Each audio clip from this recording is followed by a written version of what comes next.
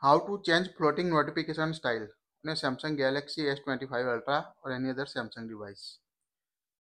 Open the app drawer on your device. Tap the settings app. Now scroll down up to notification.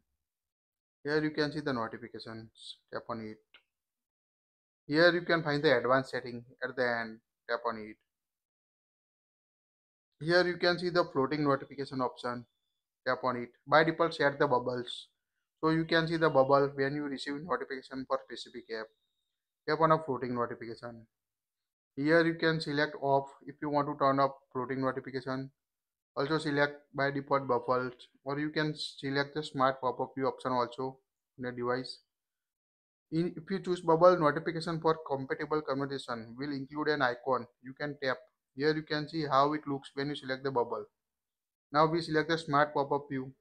When you select the smart pop-up view, you can see this type of screen when you receive a message on your device.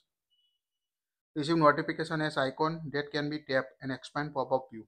When you select the smart pop-up view, you can access application also and uh, other application. Here you can select the application you want to use the smart pop-up view. Just toggle on the option you want to use a smart pop-up. Here we select calendar, Google Chrome, Facebook, so select the application you want to use smart pop-up view or also use another application using this setting.